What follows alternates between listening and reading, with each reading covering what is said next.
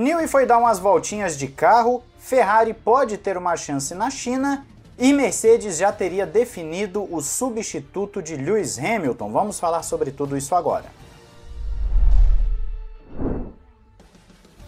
Olá, amigo do Ressaca Fórmula 1, seja bem-vindo a mais um vídeo. Eu sou Matheus Pucci. Se você, assim como eu, estava assistindo as quartas de final da Champions ali, o Real e City, meu amigo, eu não sei para quem você estava torcendo, mas foi emocionante, hein? Eu estava torcendo pro Real, ia até os pênaltis, foi emoção pura. Mas enfim, vamos falar de Fórmula 1, começando com aquela do Adrian E Lembra ontem aquela do Newey de que ele teria sido visto no aeroporto lá na Itália, perto da base da Ferrari em Maranello e tudo mais? Pois é, como eu citei no vídeo de ontem, isso aumenta muito as especulações, mas não tinha foto, não tinha nada que garantisse que ele estivesse lá, ou se foi que era mesmo para estar tá ali na Ferrari.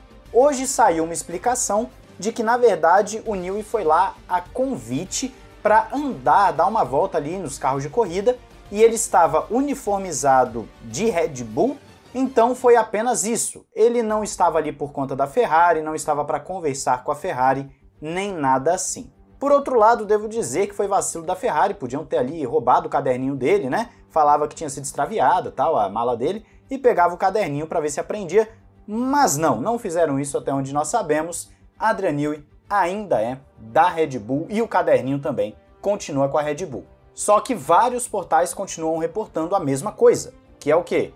Newey ainda é um nome muito cobiçado por Aston Martin, Ferrari e Mercedes, sendo que Aston Martin e a Ferrari já teriam chegado nele oficialmente, já teriam feito uma proposta e, num primeiro momento, ele teria até recusado as propostas. Mas é isso então sobre o Adrian Newey. O segundo ponto que nós vamos conversar agora é sobre Ferrari, isso porque o Max Verstappen acredita que a Ferrari vai ter sim uma boa chance e o Frederic Vasseur também acha que vão conseguir botar uma pressão na Red Bull. Por que isso? Por conta das características da pista, a Ferrari acredita que pode sim ter um final de semana um pouco melhor, já que não esperavam grande coisa de Suzuka, acabaram tendo uma performance com o Sainz melhor do que o esperado. Já falei isso inúmeras vezes aqui, que o Sainz teve uma performance que aparentava que conseguiria bater de frente com o Sérgio Pérez. E agora, no Grande Prêmio da China, que você tá meio que nesse desconhecido, né? Citei isso no vídeo anterior também, que o Grande Prêmio da, da China você vai ter pneus que ninguém sabe como vão funcionar nessa pista, os carros também nunca foram para essa pista do regulamento atual, então tudo é muito novo para a Fórmula 1. Deu um chuvão também lá recentemente, acho que hoje cedo, deu uma chovida boa lá, então a pista perdeu toda a borracha que tinha. Parece que recapearam o asfalto, então isso tira também a aderência, dificulta um pouco mais para você colher dados precisos. Você tem a sensibilidade à temperatura, já que há uma previsão de chuva para sexta e para sábado, mesmo que não seja durante a sessão. Você pode ter a chuva atrapalhando, né, tirando a borracha e modificando também a temperatura de pista. Ou seja, você tem vários elementos aí que podem gerar uma corrida um pouquinho diferente do padrão.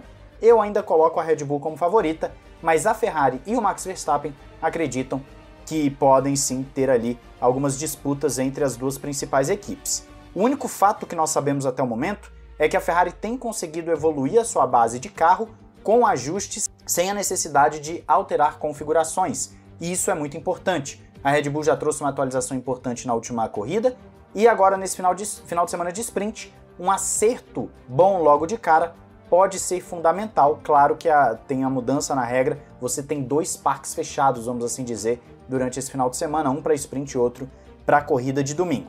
Mas é isso. Vamos ver se a Ferrari realmente vai estar tá nessa, vamos dizer, busca mesmo da Red Bull, se eles vão conseguir bater de frente com o Pérez. Para isso precisam de um bom quali e também de um bom ritmo de corrida, coisa que tem apresentado nas quatro provas até o momento. Agora vamos entrar no nosso assunto principal aqui, que é o substituto de Lewis Hamilton. Isso porque Will Buxton, o repórter oficial da Fórmula 1, falou num podcast que o Toto Wolff já definiu quem será o substituto do heptacampeão. E este piloto será Andrea Kimi Antonelli.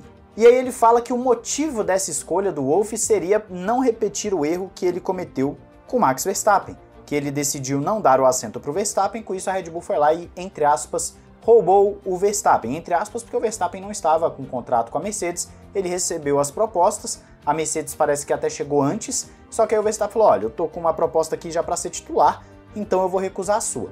Como o Wolff ficou traumatizado com isso, ele estaria buscando o Kimi Antonelli, que inclusive fez hoje o seu teste no W12 e tem tido um feedback muito positivo. É claro que a gente não sabe até que ponto esse feedback é verdadeiro, né? Mas aparentemente ele foi muito bem, se adaptou muito bem ao carro. Então, o primeiro contato dele assim com esses carros parrudões e tal, parece que foi muito positivo.